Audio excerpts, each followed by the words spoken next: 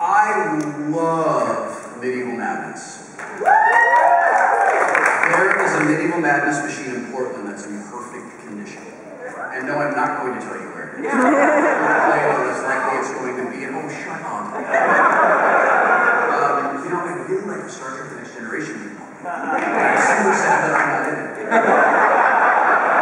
And, um, uh, Creature from the Black Lagoon, uh, which I know purists aren't real crazy about it just has two ramps, but we had that game in our arcade when I worked for New and I probably spent a thousand hours playing it.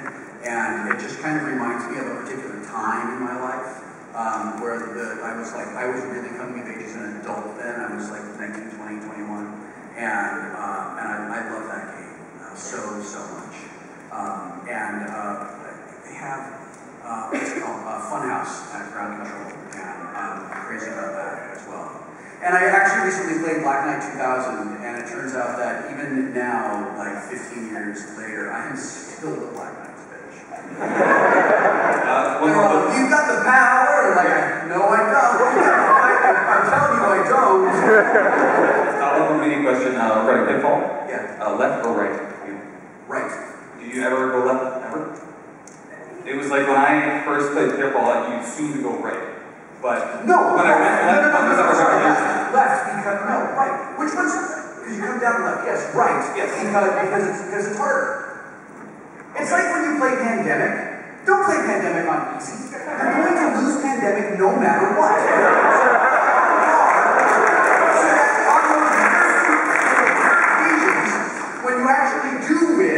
Because you get lucky, you're like, yeah, like boss, beat it on hard.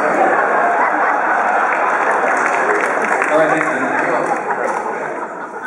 Hi, I don't know if you remember me, but I gave you your fox doll at uh, Compound. Yes. Yeah, okay. Um, and my question was going to be, what's your favorite gift you've ever gotten from a fan? But the dick of the cake of dicks is just such a game changer. It's tough, I know, right? Yeah, it messes it up. It was Fox until this.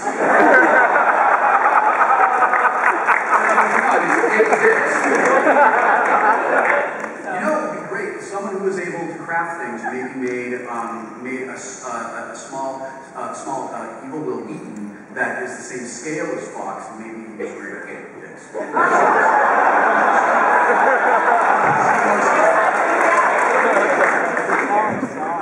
Yes. Hello, I've got one question and a little side. You talked a lot about um, nostalgia and you growing up with the Atari 2600. Do you think the consoles, or those of us that grew up with like the GameCubes, the original Xbox,